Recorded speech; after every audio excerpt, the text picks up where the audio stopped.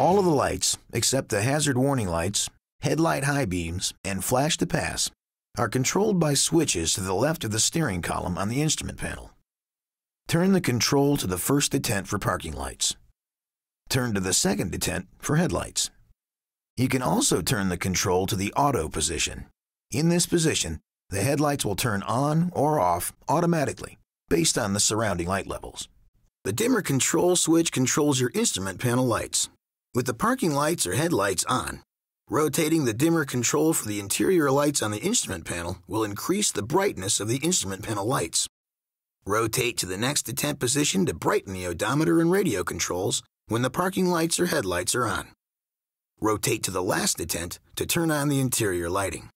To activate the front fog lights, turn on the parking lights or the low beam headlights and push in the headlight switch control. Pressing the headlight switch control in a second time will turn the fog lights off. Please refer to the instruction manuals on the owner's information DVD or ramtrucks.com slash en slash owners slash manuals for complete details and other important safety information.